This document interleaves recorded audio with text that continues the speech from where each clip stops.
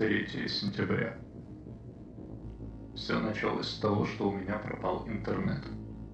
Это было обычным делом для моего города, и я бы не обратил на это внимания, если бы на следующее утро весь мой БТУ не говорил об этом.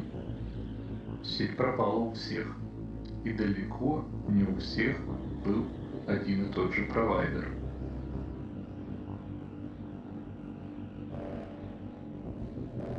По телевизору в тот день сказали, что случилась авария, что доступ восстановят, как только смогут. Но еще тогда у меня появилось некое беспокойство.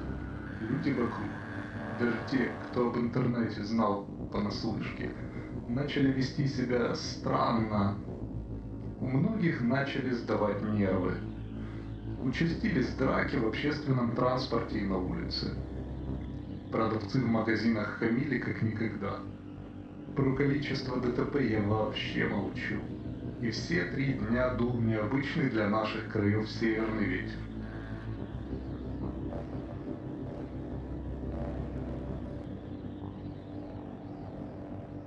А на третий день солнце не встало. Ну, или так нам показалось. Телевизор работал в режиме чрезвычайной ситуации.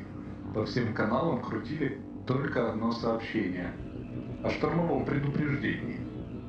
А кругом стояла темнота. Неба видно не было.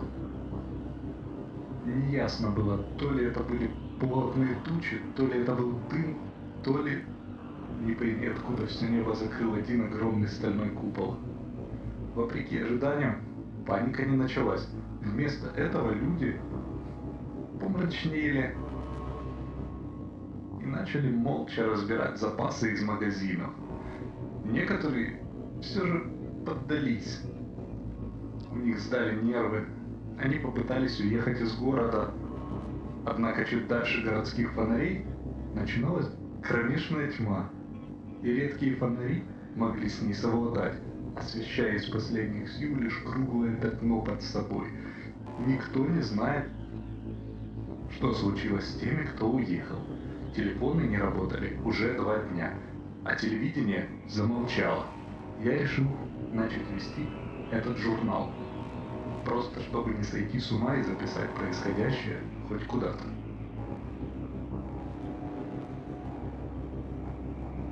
Четвертое сентября. Встретил друга, радиолюбителя. Он сразу потащил меня к себе на чердак и обещал кое-что показать. Еще попросил поделиться припасами. Я заглянул домой, взял с собой пару банок фасоли. У меня много тушенки но ей я делиться не буду.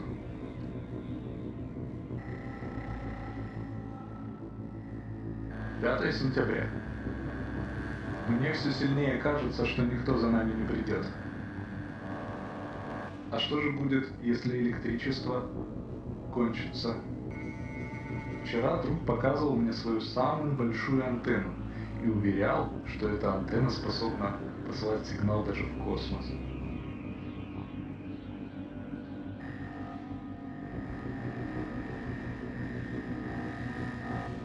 Мы просидели несколько часов, пытаясь поймать хоть какой-то сигнал. Нашли только шум, какие-то шифрованные частоты. Еще была одна станция, вещающая на китайском, все время повторяющая не очень длинную речь, но перевести ее нет никакой надежды. Я не возвращался домой в этот день. Нами овладело стойкое чувство, что открывать дверь совсем нельзя. Этой ночью мне снился кошмар. В нем я увидел, как открывается дверь, как в нее пролезает длинная пасть с уродливыми зубами. Проснулся я еще до того, как увидел морду этого гостя и на всякий случай проверил замок. Замок был закрыт. И на утро если это можно назвать утром, страх прошел. Однако другу снился похожий сон. Интересно, что же это было?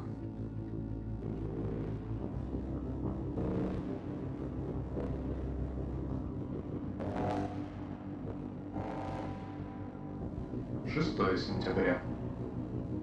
Видел за окном странные огоньки. Сегодня электричество пропадало на час. Во дворе соседи разожгли из мусора огромный костер. Выдался хороший шанс поговорить с ними. Оказывается, домашние животные у всех пропали, а те, что в клетках были, умерли. Было страшно, так как несколько раз я видел на грани света и темноты собак. Может быть, дикие животные в порядке?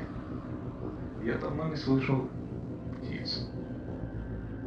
8 сентября. Я не могу в это поверить. Я целый день не вел журнал, потому что солнце вернулось. Погода ужасно пасмурная, но стало видно небо. Кругом сплошная пелена туч. Я весь день гулял, но мне все еще не по себе. Я узнал от соседей, что из города пропали еще и бомжи. Связи по-прежнему нет.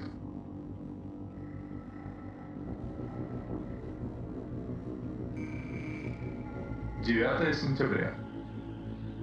Мы не можем покинуть город. Сегодня вернулись несколько машин, которые решились уехать, когда все начиналось. У водителей сильное обезвоживание. Говорят, что дорога не кончалась, заправок нигде не было.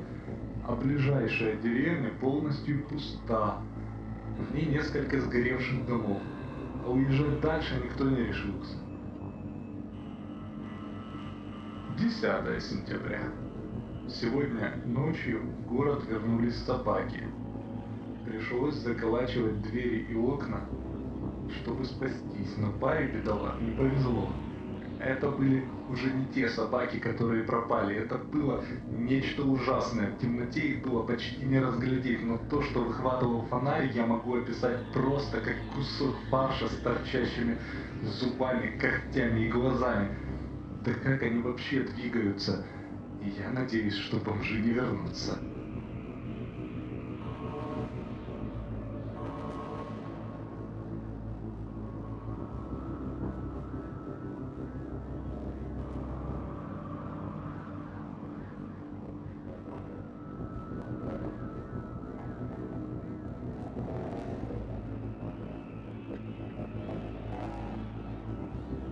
Одиннадцатое.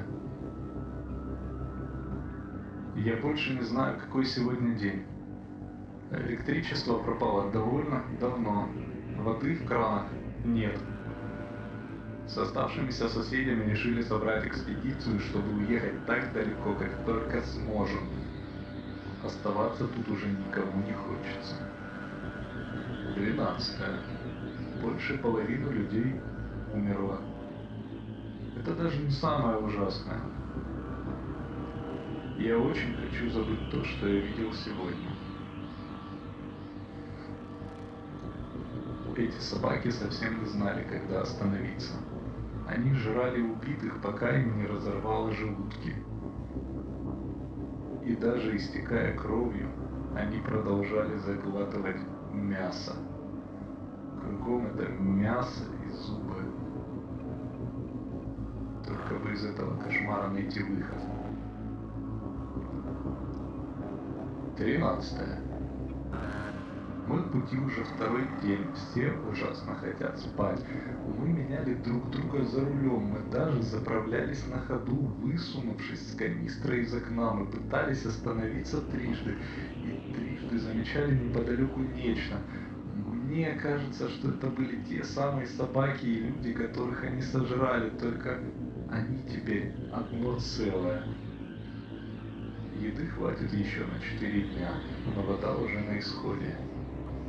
Решили наполнять мочой пустые бутылки. 14. Выхода нет. Я, наверное, последний. Мы доехали до ближайшего города, и тут их еще больше. Они выглядят как огромные куски мяса обросшие глазами и зубами. Некоторые из них размером с машину. К счастью, я нашел длинный кусок провода и смогу сам все закончить. Я не хочу, чтобы меня сожрали заживо, как остальных. Их просто втягивало внутрь и перемалывало. Как же повезло тем, кого затащили головой вперед. Интересно. Так везде.